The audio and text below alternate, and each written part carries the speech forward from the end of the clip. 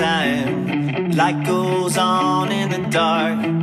We hit a fight at the wrong time. Suddenly set off a spark.